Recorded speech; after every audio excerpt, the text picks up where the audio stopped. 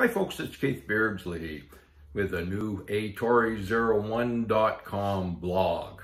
Here today I want to look at two things. I want to look at this mess with Rogers. You know, Canadians pay the highest prices in the world for cell service.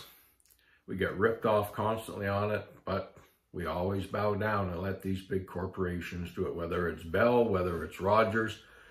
They need to be broken up. It's as simple as that. We need competition like they have in the United States. And that's a major issue, you know, lack of competition.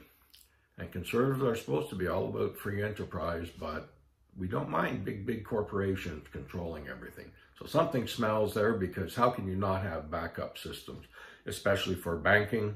You know, Interac was down. All this was down just because one company couldn't do their job right. So there has to be backup systems.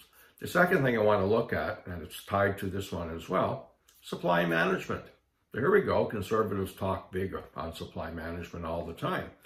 You know, we got rid of the wheat board. We do all sorts of things until it comes to supply management, dairy products, pork to a lesser extent, eggs.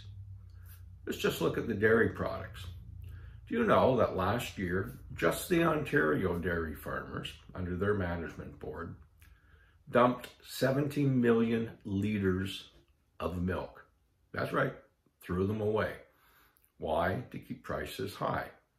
There was a strike recently in Granby, Quebec, where the plant there sent letters out to everybody telling them just dump the milk. 400,000 litres a day down the drain. Throwing out food like that to artificially keep prices high should be a criminal offense.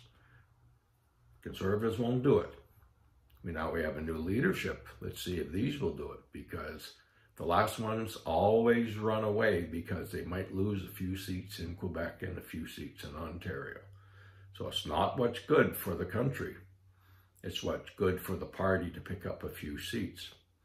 Maybe they might get a few more votes if they actually did this and lowered prices. By the way, the price of milk is going up September the 1st. Just thought you'd like to know. Keith Beardsley, atory01.com. Have a great day.